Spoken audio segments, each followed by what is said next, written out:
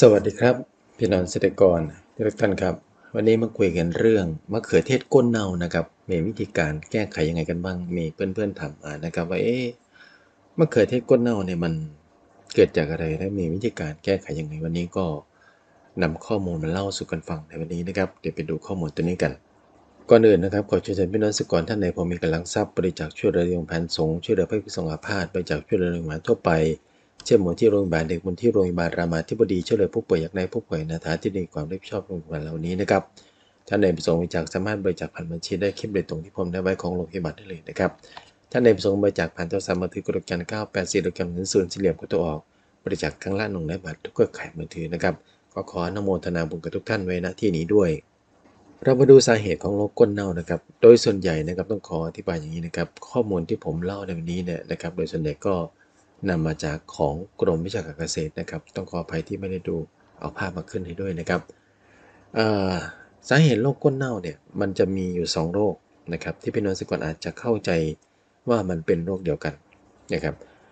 โรคหนึ่งเนี่ยทางวิชาการเนี่ยเขาจะเรียกว่าผลเน่าสีดำหรือปลายผลเน่าดำนะครับ ตัวนี้มันจะ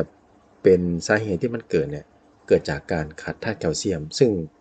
เพื่อนๆที่ถามมาเนี่ยผมก็จะว่าเป็นโรคนี้แหละนะครับคือคือโรคผลสีเน่าดำลักษณะของโรคนี้เนี่ยถ้ามันขาดแคลเซียมเนี่ยมันจะมีอาการที่ปลายผล ปรากฏเป็นจุดสีน้ำตาลนะครับ แล้วจุดพวกนี้เนี่ยมันก็จะขยายใหญ่ขึ้น เกือบประมาณสักครึ่งผล แต่ย้ำนะครับ มันเป็นที่ปลายผลก่อนนะครับ จากนั้นมันก็ยุบตัวลง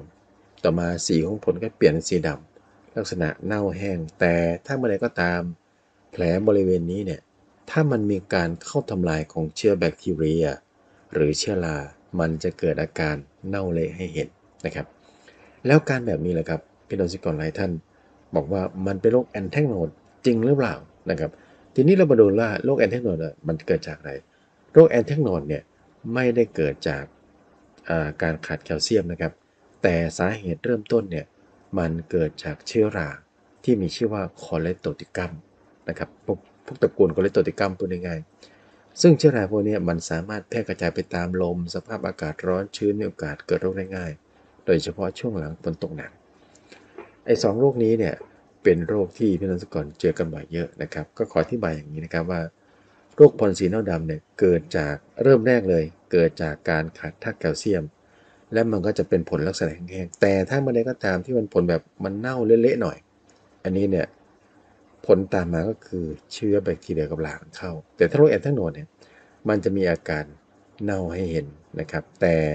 มันจะเป็นได้ทั่วผลเลยแอนแทกโนดเนี่ยนะครับ อันนี้คือความต่างของ2โรคนี้นะครับ ทีนี้เรามาลงความต่างชัดๆ จากภาพ 2 ภาพนี้นะครับ ระหว่าง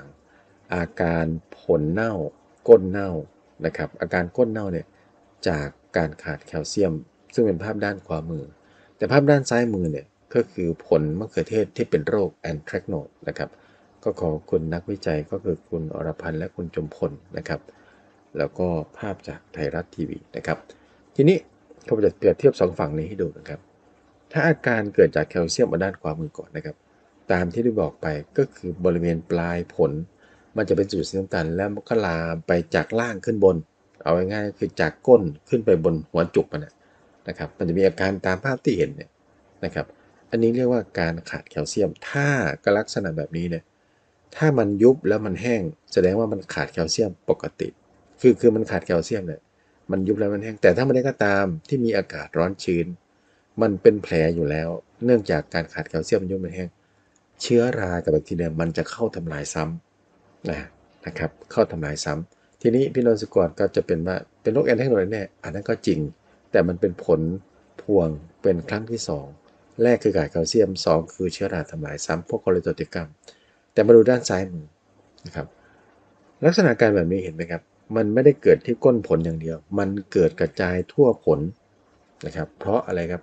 บริเวณไหนที่มันเป็นบาดแผลหรือเชื้อรามันเข้าไปได้นะครับ ในช่วงที่อากาศร้อนชื้นเนี่ยพวกนี้จะเป็นบ่อย คือมันเป็นทั่วผลเลยไม่ได้เป็นที่เฉพาะก้นผลอย่างเดียว เพราะนั้นความต่างของสองตัวนี้ การขาดแคลเซียมเป็นที่ก้นผล ถ้าเป็นโรคแอนแทกโนดเป็นทั่วผลโอเคนะครับ ขาดแคลเซียมเป็นเฉพาะเขาเรียกว่าอะไรก้นผล แต่ถ้าเอนแทงโนดเนี่ยเป็นทั่วผล อันนี้คือความต่างคงแยกออกนะครับถามว่าแยกออกแล้วมันใช้ประโยชน์อะไรได้ มันก็ต้องใช้ประโยชน์ได้ว่าอะไรครับ ถ้ามันเป็นที่ก้นผลมันขาดแคลเซียมเราต้องให้อะไรครับ ให้แคลเซียมกับโบรอน ในการแก้ไขปัญหา คือถ้ามันแห้งอย่างเดียวเนี่ยมันไม่มีเชื้อราเข้าทำลายแล้วก็ให้แคลเซียม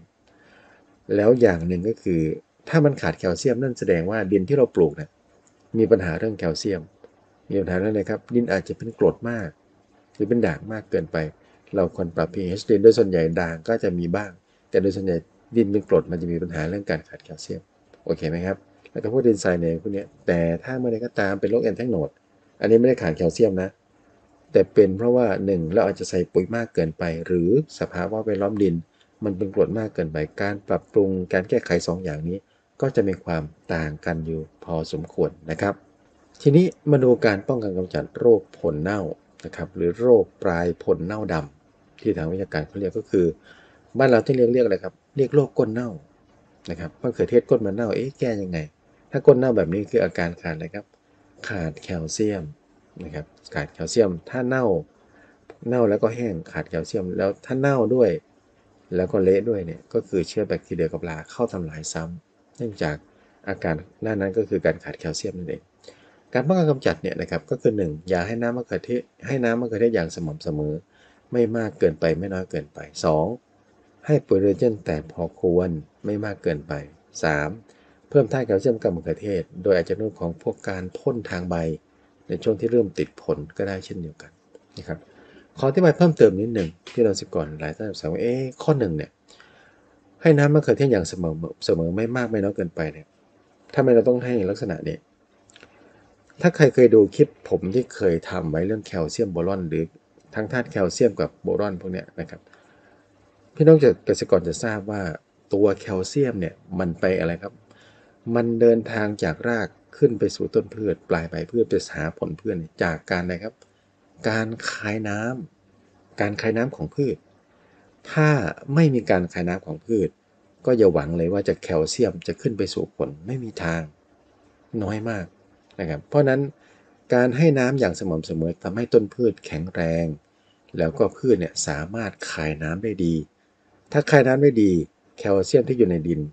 มันก็จะดูดขึ้นไปยังผลได้ง่ายนะครับไปนำต้นต่างๆได้ง่าย ถ้าไม่มีน้ำแคลเซียมเนี่ยจะไม่ดูดไป อาการที่ปรากฏคือขาดแคลเซียม ถึงมีในดินมันดูดไม่ได้ มันก็ไม่มีประโยชน์อะนะครับ ข้อนี้อธิบายชัดเจนเนาะข้อหนึ่งเนี่ยถามว่าทำไมต้องให้น้ำเพื่อให้พืชมันคายน้ำแล้วก็ดูดแคลเซียมขึ้นไปใช้ได้ เพราะแคลเซียมไปกับการคายน้ำของพืชนั่นเองข้อที่2นะครับ ให้ปุ๋ยไนโตรเจน แต่พอควรไม่มากเกินไป การให้ปุ๋ยไนโตรเจนเนี่ยถามว่ามันเกี่ยวอะไรกับโรคก้นจุดเน่าๆเนี่ยจริงๆ มันเกี่ยวหลายส่วนนะครับ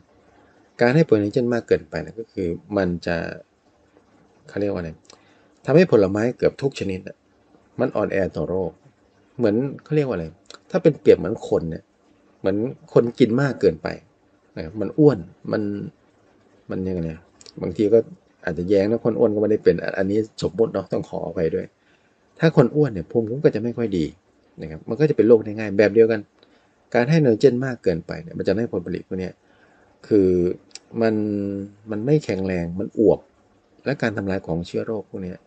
มันก็เชื้อโรคเนี่ยถ้าเป็นเป็นขาดแคลเซียมด้วยเนี่ยการทำลายของเชื้อโรคมันก็จะได้ง่ายด้วย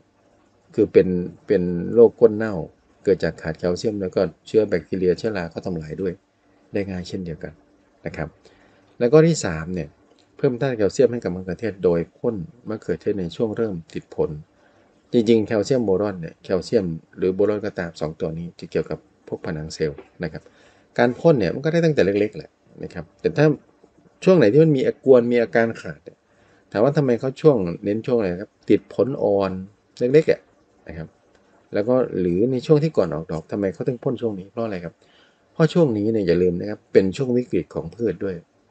ในช่วงติดดอกผลมันต้องการธาตุอาหารปริมาณมาก มากกว่าในช่วงทุกช่วงต่างๆ เพราะอะไรครับ เพราะมันนำมาสร้างดอกสร้างผลเหมือนปลูกข้าวเนี่ยใส่ข้าวออกรวง ปุ๋ยออกรวงเนี่ยแบบเดียวกันเลยครับ มันต้องการธาตุอาหารในการสร้างพวกนี้เยอะพอสมควร เพราะนั้นเขาถึงนิยมนะครับ แนะนำว่าการพ่นในช่วงติดดอกออกผลอ่อน เพื่อป้องกันการขาดพวกนี้ แล้วมันก็ดูดซึมทางใบเข้าไปใช้ได้ด้วยนะครับ แต่ถามว่าช่วงอื่นเนี่ยไม่ช่วงอื่นก็ได้ แต่ช่วงนี้เนี่ยมันจำเป็นต้องใช้มาก ถ้าขาดมันก็จะปรากฏอาการตามที่เห็นนั่นเองนะครับ เรามาดูการป้องกันกำจัดต่อนะครับ การป้องกันกำจัดก็คือ 1. มีการปรับปรุงดินนะครับ ถามว่าปรุงดินเรื่องอะไรบ้าง ก็คือเรื่องความเป็นกรดเป็นด่างของดินนั่นเองนะครับ ควรให้ดินเนี่ย ถ้าวัด pH ดินแล้วเนี่ย ควรให้อยู่ประมาณ 5.5 ถึง 6.5 โอเคไหมครับ ก็คือผมเคยได้อธิบายหลายคลิปเรื่องพวกนี้อาจจะไม่ได้อธิบายซ้ำต้องขออภัยด้วยนะครับ5.5ถึง6.5พูดง่ายก็คือ มันเป็นช่วงที่พืชเนี่ยกับดินเนี่ยนะครับ แล้วก็สภาวะต่างๆ พืชจะดูดได้เกือบทุกธาตุนะครับ ให้เพียงพอต่อความต้องการ แต่ถ้าต่ำกว่านี้มากกว่านี้ จะมีปัญหาความเป็นพิษหรือความเกินของธาตุอาหาร จะทำให้พืชเนี่ยมีความผิดปกติเกิดขึ้นนะครับ เพราะฉะนั้น pH 5.5 ถึง6.5 2 หากดินเป็นกรดก็คือ pH ต่ำกว่า 7 ลงมา ก็คือถ้าดินเป็นกรดเนี่ยควรปรับปรุงก็คือประมาณต่ำกว่า 5.5 ลงมานะครับ เพราะนี้จะเป็นเริ่มกรดแก่ๆไปแล้วนะครับ หากดินเป็นกรดเนี่ยควรใส่ปูน ปรับปรุงอย่างจำทุกปี เช่น ปูนขาว ปูนมานปูนดูโลไมต์นะครับสามตัวนี้ แต่ว่าปัจจุบันนี้เนี่ยก็จะนิยมใส่อะไรครับ ปูนขาวกับปูนดูโลไมต์ปูนมานทุกวันนี้ไม่ไม่ไม่ค่อยได้ใส่เพราะอะไรครับ แต่ก่อนนี้กรมพัฒนาดินแจก แต่เดี๋ยวนี้กรมพัฒนาดินเขาอาจจะแจกน้อยลงเขาจะแจกพวกโดโลไมต์กับปูนขาวส่วนใหญ่ก็เป็นโดโลไมต์เพราะอะไรครับ เพราะปูนขาวเนี่ยมีแคลเซียมไฮดรอกไซด์เวลาถูกน้ำนมก็จะมีอาการร้อน แต่พวกนี้เนี่ย pH มันจะสูงนะครับการปรับปรุง pH ดินเนี่ยก็จะได้เร็วกว่าปูนชนิดอื่นเร็วไม่ใช่ว่าแบบปุ๊บปั๊บสามสี่วันเป็นไม่ใช่นะครับเป็นปีนั่นแหละมันค่อยปรับปรุงไป แต่ว่า pH มันจะสูงกว่าเพื่อนปรับ ปรับ pH ดินที่เป็นกรดมันจะทำได้ง่ายกว่าพวกโดโลไมต์แต่โดโลไมต์เนี่ยก็ใช้ในการปรับปรุงดินที่เป็นกรดได้เหมือนกัน แต่โดโลไมต์กับปูนขาวนี่จะต่างกันนิดหนึ่งปูนขาวเนี่ยใส่น้ำมีความร้อน แต่โดโลไมต์ไม่ร้อนเนาะความร้อนน้อยปูนขาวเวลาใส่ต้นพืชเนี่ยระวังมันจะไหม้รากรากแล้วก็พืชจะตาย แต่ถ้าโดโลไม้เนี่ยความร้อนน้อยมากจนถึงไม่ค่อยมีเลยนะครับ มามองในธาตุอาหารปูนขาวมีเฉพาะแคลเซียมนะครับ แต่โดโลไมต์เนี่ยมีแคลเซียมกับแมกนีเซียม ปูนขาวแคลเซียมอยู่ในรูปของแคลเซียมไฮดรอกไซด์แต่โดโลไมต์เนี่ยธาตุอาหารพวกแคลเซียมกับแมกนีเซียมอยู่ในรูปแคลเซียมคาร์บอเนตกับแมกนีเซียมคาร์บอเนตนะครับสองตัวนี้เวลาเขาใส่ปัจจุบันนี้เขาก็นิยมพวกโดโลไมต์เป็นส่วนใหญ่เนาะอันนี้ก็แล้วแต่พื้นที่ด้วยนะครับข้อที่ 3 หากเป็นดินที่เป็นด่างควรใส่ปุ๋ยที่ส่งผลที่เป็นกรด เช่น ปุ๋ยแอมโมเนียมซัลเฟตแอมโมเนียมซัลเฟตบ้านเราเรียกอะไรครับ ปุ๋ยอะไร ปุ๋ยเกลือนะครับ ปุ๋ยเกลือที่เป็นขาวๆขุ่นๆหน่อยนะครับ หรือบ้านเราเรียกสูตร 21ส่วนศูนย์ตัวนี้จะมีไนโตรเจนประมาณ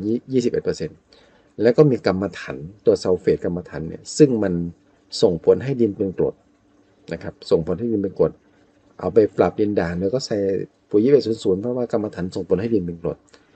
บางสูตรก็จะประมาณบางบริษัทก็จะประมาณ 24%บางบริษัทก็ประมาณ 23% ก็ประมาณ 23 24 ก็อยู่ประมาณนี้แอมโมเนียมซัลเฟต21ศูนย์แล้วก็ปุ๋ยอินทรีย์ใส่ต่อเนื่องทุกปี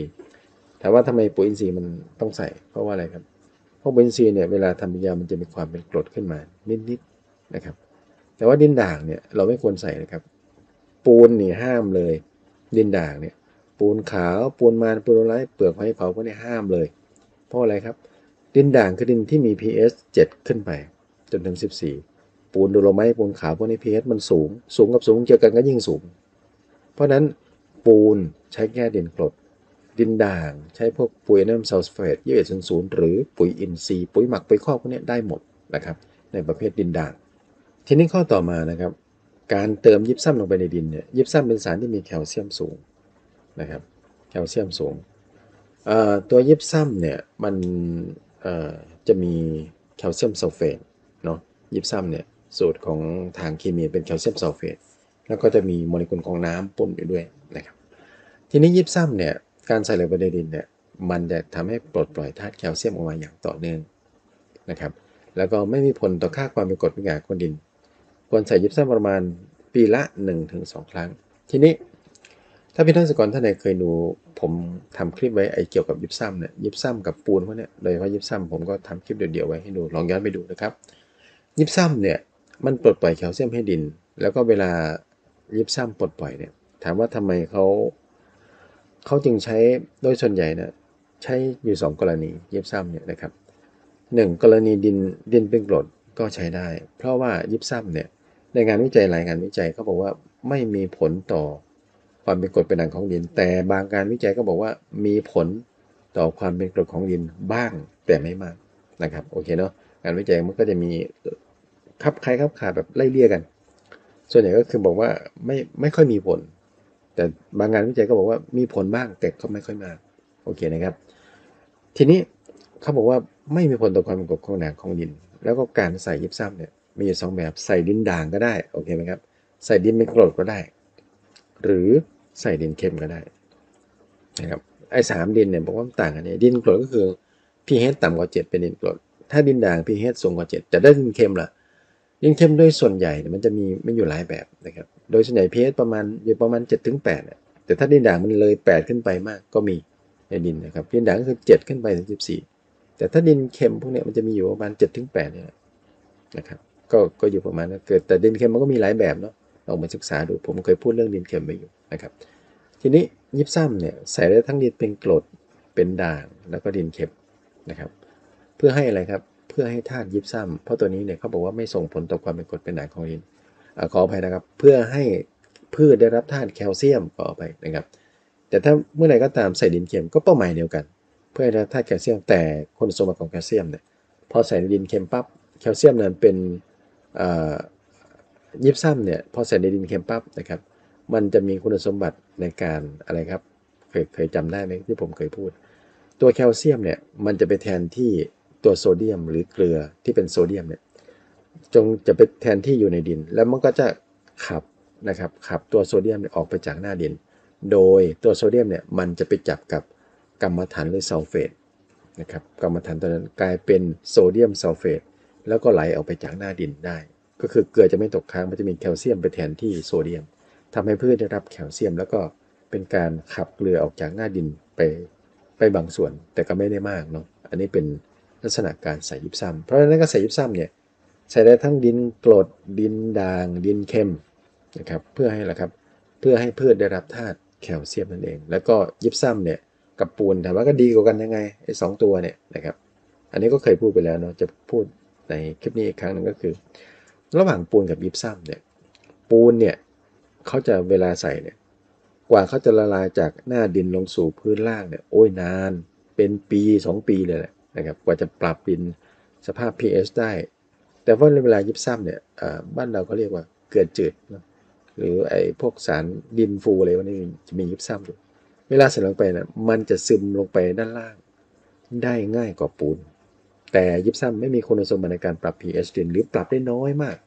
แต่ปูนเนี่ยมันมีคุณสมบัติปรับปรับปรุงดินนะครับ แต่การซึมเนี่ยยิบซ้ำจะซึมลงดินได้ดีกว่านะครับ มาดูกันเมื่อกันข้อที่3นะครับ การฉีดพ่นแคลเซียมทางใบเนี่ยเป็นวิธีที่นิยมกันมากในปัจจุบันนี้นะครับ เพราะว่าอะไรครับมีหลายบริษัทผลิตขึ้นมาเกี่ยวกับพวกแคลเซียมโบรอน แบบเป็นผงบ้าง เป็นน้ำบ้าง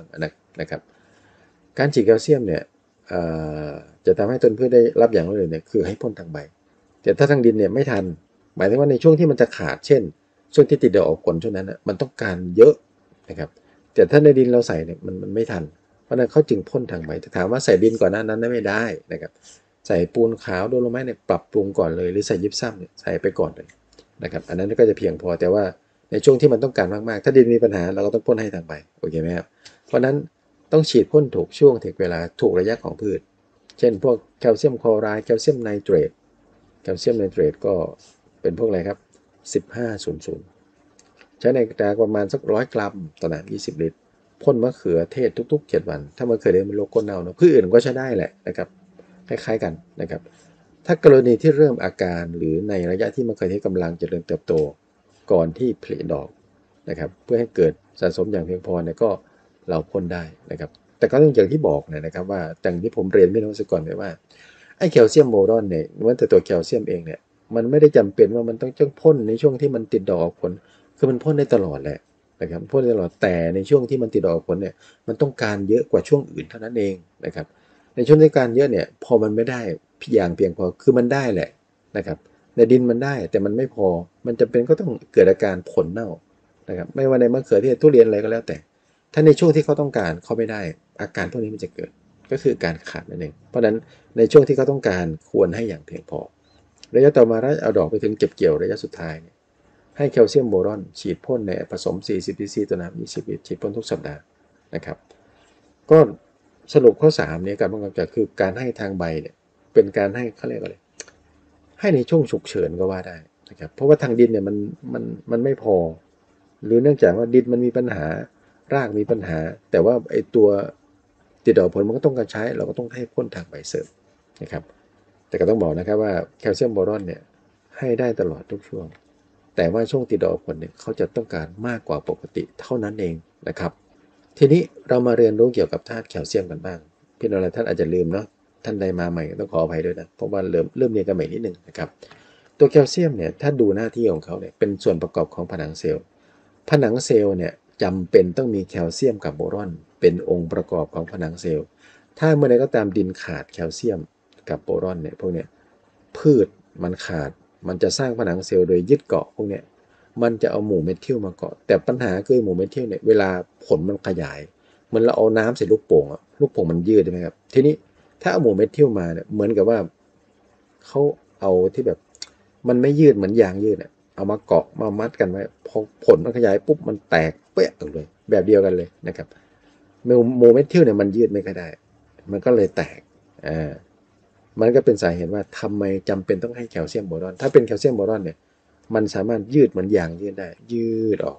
ในกรณีที่มันเพียงพอนะถ้าไม่ไม่พอมันเอาหมู่เมทิลมาก่อนมันก็แตกเหมือนเดิม เพราะนั้นเขาถึงบอกว่า ผนังเซลล์เนี่ยแคลเซียมโบรอนเนี่ยขาดไม่ได้ ถ้าขาดมันจะแตกสองจำเป็นต่อการแบ่งเซลล์ อันนี้ก็สำคัญ เซลล์ยอดเซลล์อะไรพวกนี้ กระตุ้นการทำงานของเอนไซม์ช่วยยืดอายุการเกี่ยวรักษาได้นานขึ้น ถามว่าทำไมช่วยยืด ก็ถ้าผนังเซลล์ คือเปลือกถ้าเปลือกมันแข็งแรงนะครับ มันแข็งแรงเนี่ยอะไรก็เจาะลำบาก มันก็ยืดการยืดการอายุการทำงานได้มากขึ้นนะครับ ก็ขอขอบคุณข้อมูลนี้จากท่านอาจารย์ ดรสุมิตราผู้รมอย่างสูงนะครับ จากมหาวิทยาลัยเกษตรศาสตร์นะครับ ต่อมานะครับอาการขาดแคลเซียมเป็นยังไงหนึ่งถ้าขาดแคลเซียมจะปรากฏในดินกรดกับดินเนื้อหยาบดินกรดคือดินอะไรครับ ดินที่มี pH ต่ำกว่า7โดยส่วนใหญ่ต่ำกว่า 5.5 จะปรากฏอาการขาดแคลเซียมเห็น เพราะอะไรครับ แคลเซียมละลายใน pH ที่เป็นด่างได้ดี เช่น pH 7ถึง8อะไรเงี้ยเขาจะละลายได้ดี แต่ถ้าต่ำกว่า 5.5 ลงมาเนี่ยจะละลายได้น้อยถึงไม่ไม่ค่อยละลายเลย เพราะฉะนั้นถ้า pH ดินเป็นกรดมันถึงขาดแคลเซียม ต่อมาดินเนื้อหยาบดินอะไรครับ ดินทราย ดินทรายเนี่ยมันเขาเรียกว่าอะไรพวกซิลิคอนเนี่ยในดินทรายเนี่ยมันผิวดินทรายมันมันมันแทบไม่มีประจุเลย เพราะนั้นมันไม่จับญาติยึดธาตุอะไรไว้เลย รวมทั้งพวกแคลเซียมด้วนะครับเพราะนั้นมันจึงขาดได้ง่าย